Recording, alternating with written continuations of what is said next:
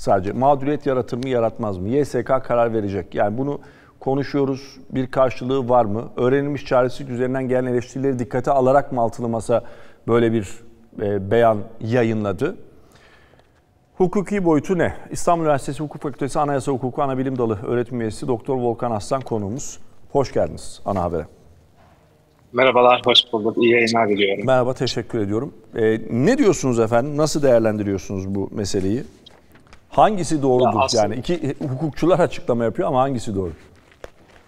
Ya aslında konu gerçekten çok çetrefilli bir konu ama her iki tarafın dediği kadar da kolay hemen hüküm verilebilecek bir konu değil. Yani şu anlamda değil.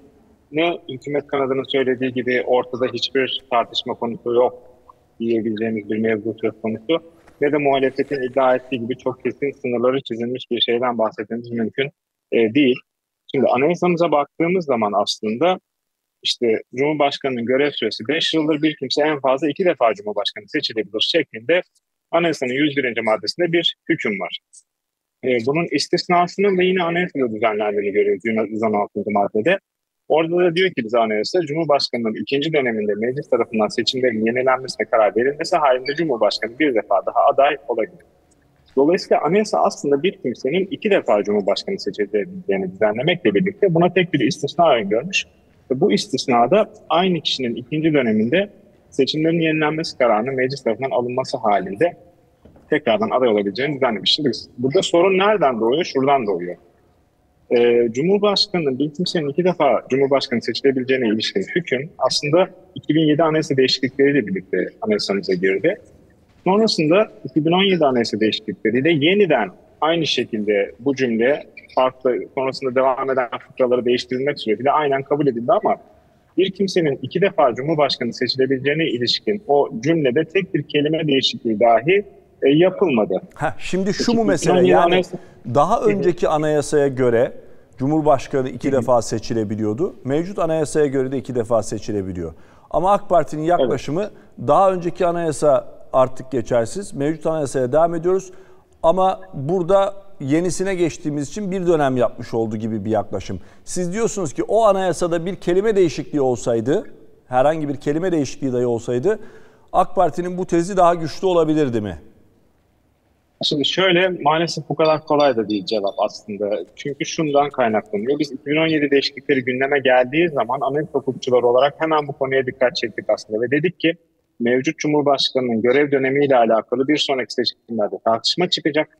Eğer siz mevcut Cumhurbaşkanı'nın görev dönemini eğer baştan başlatacaksanız buna ilişkin bir geçici maddenin anayasaya eklenmesinde fayda var diye bir e, öneride bulunmuştuk. Ama maalesef o zaman 2017 anayasa değişikliklerini yapan yapan kurucu iktidar o kadar hızlı bir anayasa değişikliği yaptı ve kamuoyunda o kadar sağlıksız bir tartışma ortamının sonucunda bu anayasa değişiklikleri kabul edildi ki bizim o zaman dile getirdiğimiz çekinceler maalesef şu an gündeme geldi. Baktığımız zaman her iki görüşün lehine ve e, yorum yöntemleri açısından yaklaştığımızda dayanak bulabiliriz ama şey mi yani sen de haklısın aslında, sen de haklısına mı geliyoruz hocam?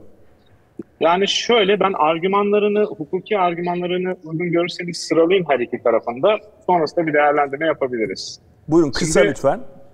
Tabii ki. Öncelikle şunu, Cumhurbaşkanı'nın birinci döneminde olduğunu ilişkin görüşleri özetleyelim. Bu görüşün dayanakları şunlar. Efendim 2017 değişiklikleriyle sistem değiştiği için ilk başkanlık seçimi 2018 yılında yapılmıştır ve anayasanın sistematik yorumu gereği işte statüsü değişen Cumhurbaşkanı'nın ilk döneminde olduğunu kabulü gerekir. Bu birinci argüman. İkinci argüman işte anayasa değişiklikleriyle birlikte meclis ve cumhurbaşkanı seçimleri aynı gün yapılacağı için yine 2018'deki seçim ilk seçim olarak kabul edilmek e, gerekir şeklinde. Bir diğeri de anayasa değişiklikleri tartışılırken komisyonda bu konu tartışıldı ve o zaman komisyon raporlarında mevcut Cumhurbaşkanı'nın döneminin hesaba katılmayacağı tartışmasızdır gibi bir ifade geçiyor. Yani dayanakları bu görüşün bunlar. Anayasa hukuk öğretisinin çoğunlukla benimsediği görüş ise aslında Cumhurbaşkanı'nın şu an ikinci döneminde olduğu görüşü. Neden? Çünkü hukuk kuralları yorumlanırken biz öncelikle lafza bakarız. Yani eğer lafı açıksa diğer yorum yöntemleri, sistematik yorum gibi, amaçsal yorum yöntemleri gibi yöntemleri ikinci nitelikte değer atfederiz. Şimdi anayasa açık açık diyor ki bir kimse en fazla iki defa Cumhurbaşkanı seçilebilir. Ve bunun tek istisnası az önce dediğim gibi 116. maddede düzenlenmiş durumda. Evet. E şimdi bir diğer sorun da şurada. Şimdi yakında ben yapılan açıklamaları dinledim. Herkes hani yeni sistem falan diyor ama size çok önemli bir noktayı vurgulamak isterim. 2017 anayasa değişiklikleri başkanlık sistemi öngördük Türkiye'de ama bu düzenlemelerin hepsi Haziran seçimlerinden sonra yürürlüğe girmedi.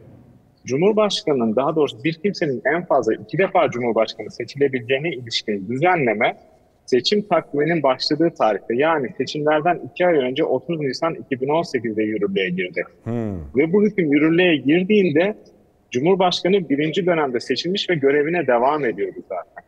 Yani 30 Nisan 2018'de 18 Haziran daha doğrusu Haziran 2018 arasında o iki aylık süreçte Cumhurbaşkanı 2014'te seçilen Cumhurbaşkanı birinci defa seçilmiş ve görevine devam ediyordu. Sonra ikinci defa seçildi. anayasa Yine aynı anayasayla E, seçildi ki. diyorsunuz. Tabii ki 30 Nisan'da yürürlüğe girdi bu hüküm. E sonrasında iki ay sonra yürürlüğe giren düzenlemeye göre de e, Cumhurbaşkanı yeniden seçilmiş oldu. Yani burada şunu söylemeye çalışıyorum ben. Siyasetten bağımsız düşünmemiz gerektiği zaman hukuki yorum yöntemleri Cumhurbaşkanı'nın şu an ikinci döneminde olduğuna ilişkin argümanın daha sağlam olduğunu ortaya koyuyor. Peki şöyle bitirelim. Yüksek Seçim Kurulu karar verecek değil mi Sayın Aslan? Ve o karardan sonra da o karar uygulanacak. Yani onun başka Kesinlikle. bir tamam. Dolayısıyla Yüksek Seçim Evet, Kurulu'nun kararı sadece- burada önemli. Sadece müsaade buyurursanız çok kısa ben bir cümleyle bir, bunun çözümünü söylemek isterim. Aslında bunun şu an anayasal olarak çözümü şu şekilde mümkün.